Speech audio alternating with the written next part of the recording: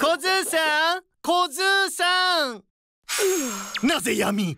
節電してんねん。いろんなものが値上がりして生活費大変やねいえいえそんな真っ暗では生活に支障が出ますから。どの口が言うんやロンデンさん。こうでもせんと省エネできてる実感が全くわかんのやから。もうなんでやねん。小津さん待って待ってください。無理せず電気を上手に使う方法ちゃんとございますので。お家庭で使われる電気製品のうち特に消費電力量が多いのがエアコン冷蔵庫照明です。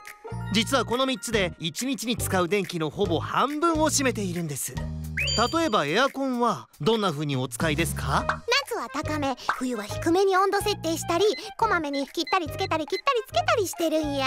私優等生。ああーってなんやねん。ああまり頻繁にオンオフするとかえって電気を使ってしまうこともあるので注意が必要ですよ。扇風機やサーキュレーターを併用するなどして空気を循環させるのも効果的です。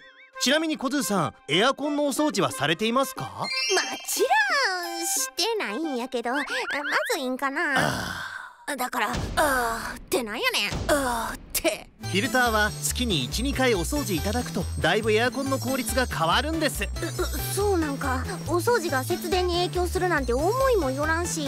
あそうそう冷蔵庫の開け閉めはなるべく少なくするように気をつけてるんや。それは素晴らしいです。では冷蔵庫の中はどんな感じですか？ゆったり入れていますか？私きっちりしてるからな作り置きをきれいに詰め込んで整理整頓しとるんや。えっと言いたいところやけど残念すっからかんや。あ今度はなんや？あ冷蔵庫の中にあまり詰め込むと冷却効果が落ちるのですっかすかなんて素晴らしいですね。そっか。って全然褒められてる気がせんわ。もう頼むでしかし。小ズーのなんでやねん